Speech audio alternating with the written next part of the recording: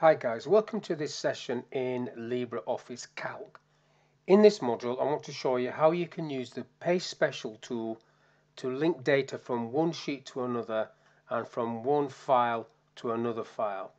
So first of all I'm just going to type something very simple in cell A1 on this sheet and I want to link that to sheet 2. So what you do is copy the data as normal, Control C, copy and then click where you want to go sheet 2 and I'll put it into A1 as well. But I don't want to do paste control V. I want to use paste special. So I've right clicked on it and this is what I want to go into. There's the key command.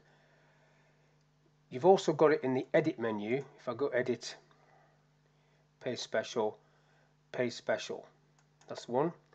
So in there you've got all these different options of pasting and the key at the bottom there is link. I want this linked click OK and then it comes through like that. So if I change the information on sheet 1 so if I type test there as soon as I press enter go to sheet 2 it says test there as well. So that's straightforward quite simple and you can do that with quite a large area of data.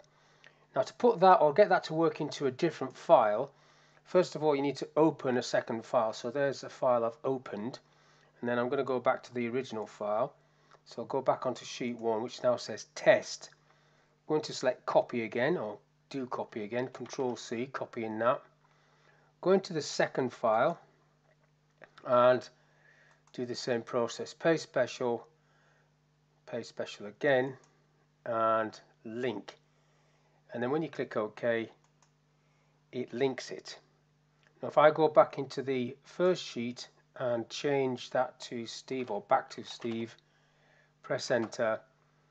It should say Steve on sheet 2 and it should should say Steve on sheet 1 of the other file. However it hasn't updated. So what I need to do is update this file. I'm going to press the F9 key which updates fields. You could equally save and close the file and reopen it and it will update I just pressed F9 there and it updated to Steve. So if you'd have closed the file and re-updated it, it would have updated. It's just using the paste special and paste link feature to copy data from one sheet to another sheet or data from one file to another file. It's a very common feature. Hopefully that little video is of use. Thank you for your time and I'll see you on the next one.